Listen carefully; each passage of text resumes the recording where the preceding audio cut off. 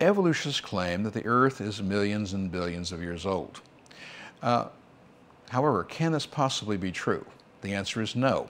How can I say that? Because we have found actually bone marrow in supposedly 10 million year old fossilized bone found in frogs and salamanders. This discovery was from 2006.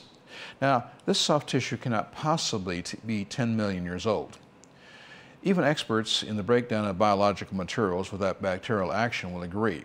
DNA cannot last more than, say, 17,500 to 125,000 years, depending upon the circumstances where it was deposited. Well, if this material is 10 million years old, then this material could not possibly even be recognizable as biological. So we take a look and we can see the Bible is really telling us the truth about a creation only 6,000 years ago. You really can trust the Bible.